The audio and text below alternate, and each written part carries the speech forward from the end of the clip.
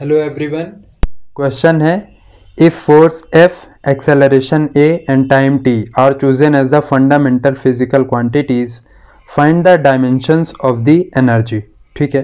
तो अपने पास हमें डायमेंशन एनर्जी का निकालना है in terms of force acceleration and time ठीक है? तो हमारे पास एनर्जी को हम लोग सिंपल वर, वर्क भी अपने पास क्या है? वर्क का भी जो डायमेंशन होता है एनर्जी के ही जैसा होता है। तो work equals to force into displacement लिख सकते हैं। अब हम लोग डिस्प्लेसमेंट को अगर आप सोचो तो डिस्प्लेसमेंट को हम लोग स्पीड इंटू टाइम लिख सकते हैं। स्पीड या वेलोसिटी बोल लो आप, ठीक है? वेलोसिटी को हम लोग एक्सेलरेशन इंटू टाइम लिख सकते हैं, ठीक है?